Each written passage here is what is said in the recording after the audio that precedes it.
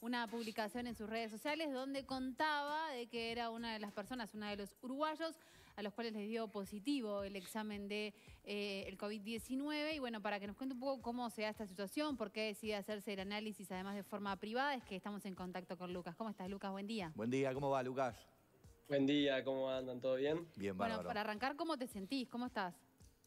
No, bien, bien. Este, me estoy sintiendo bien, nada más con algunos síntomas de una gripe común, este, pero nada, nada fuera de lo normal. Eh, Después, a pesar de eso, estoy, estoy lo más bien. Contanos cómo fue un poquito, Lucas, eh, los primeros síntomas, qué estabas haciendo, dónde estabas.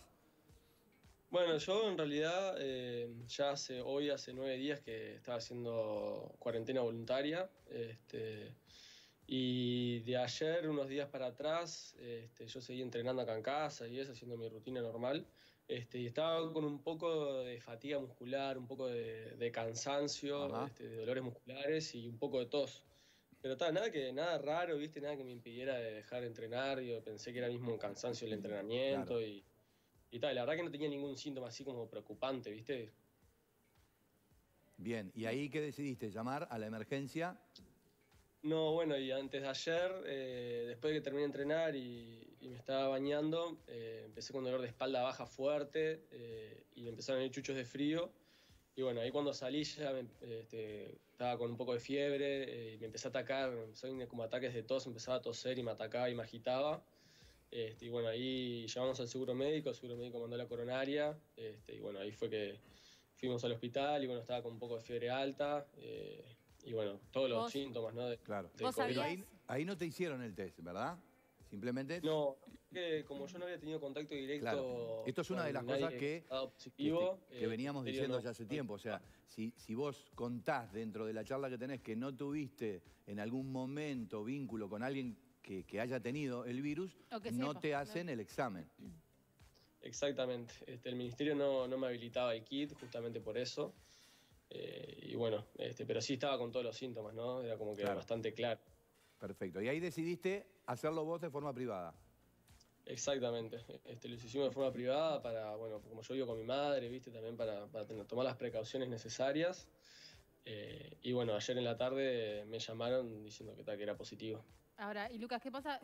¿Tuviste contacto con los médicos? ¿Fuiste al hospital? Con, o sea, con todas esas personas que vos tuviste un contacto, ¿no? Que, que podés haber este, contagiado o Eh, tomaste es- precauciones. No, yo estuve en todo momento desde que vino el médico a verme acá a casa, eh, de tapabocas y guantes. Bien, este, bien. Bueno, en el hospital también, este, bueno, tomamos todas las, las precauciones necesarias porque, bueno, era como que un caso bastante claro de que era coronavirus y ta, por eso Claro. también Lucas. tomar decisiones. Vos Sí. hace, hace nueve días que estabas en cuarentena voluntaria, o sea, significa que hace más de nueve días que te habías contagiado. Eh, ¿Le dijiste a las personas, estás en contacto con esas personas con las que estuviste esos últimos días fuera de tu casa? Sí, sí, este, hablé con todos, eh, con la gran mayoría con la que pude hacer memoria hacia atrás y bueno, tratando de avisarles y bueno, aconsejándoles ¿no? que, que se aíslen, este, porque bueno, quizás puedan estar infectados también. Claro. Y cuando te dijeron que era positivo, ¿te dio miedo? ¿Qué sentiste? Eh, en el momento en el que en el hospital que no me, bueno, no me podían hacer el, el test, eh, el médico me dijo que, que, tal, que seguramente, o sea, seguro tenía, era positivo. Y ya ahí me había ido para casa con la idea de que, bueno, que, que, tal, que tenía el coronavirus. Y tal, cuando lo llamaron como que no me tomó tan por sorpresa, ya lo tenía un poco asumido. Claro. Claro. Este, pero por un lado también creo que me sentí más, o sea, como tal, de saber qué era lo que tenía y bueno, de cuidarme, que yo vivo con mi madre también y bueno, tratar de, de estar lo más aislado posible, que antes de repente como no sabía y no tenía muchos síntomas, este, estaba o sea, en contacto con mi madre y eso. ¿Cómo se siente ella? No, hasta el día de hoy está lo más bien, sin ningún síntoma de nada. Y ahora para organizarse, para hacer las compras, yo que sé, de comida o de lo que necesiten, ¿cómo van a hacer? Y bueno, este, vino mi papá que nos dio una mano, eh, hizo un surtido y bueno, lo, lo dejó en la puerta de casa. Este, y, y ta, por el momento eso, estamos los dos aislados. Mi mamá está haciendo como si tuviera coronavirus también, así que estamos en casa pero lejos. Bueno, ¿Cuáles son, perdón, cuáles son las recomendaciones a partir de este que te lo diagnostican, ¿no? ¿Qué te dijo el médico? Los pasos a seguir son 14 días. ¿Qué más? Eh, son 14 días. Este, eh, primero que nada, mucha higiene. Eh, yo todas las mañanas, ni bien me levanto, este, me baño este, para mantener la higiene y bueno, de a ratos este, me lavo las manos con alcohol en gel. Si toco algo fuera de mi cuarto, trato después eh, mi madre de desinfectarlo y limpiarlo. Eso por un lado. Después en tema de comidas, tengo mi plato, mis cubiertos, mi vaso únicamente para mí.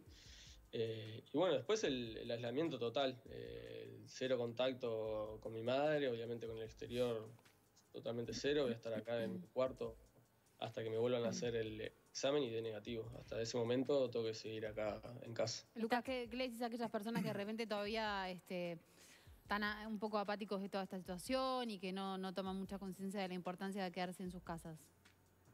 No, creo que mi, mi ejemplo habla claro de que no es necesario estar con alguien que haya tenido el coronavirus y haya dado positivo. Eh, yo no, no estuve con, con nadie que haya dado positivo. Sí, si voy hacia atrás, sé de alguien que estuvo en el famoso casorio, este, pero lo vi en un ambiente abierto, o sea, de hecho fue en el agua surfeando.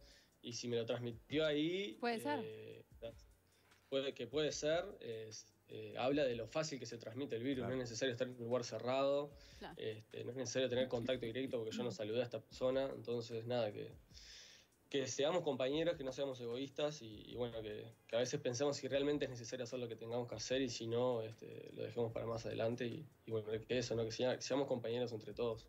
Genial. Impecable. Lucas, te mandamos un abrazo grande, gracias por el contacto y bueno, y A arriba. cuidarse. Cuídate. Que te Nada, mejores. muchas gracias. Sal- saludos para todos. Chau, chau. Impecable. Lucas Madrid con nosotros, ¿eh? Vamos, damos vuelta a la página. Si necesitas un carbón 100% natural, que no chispee.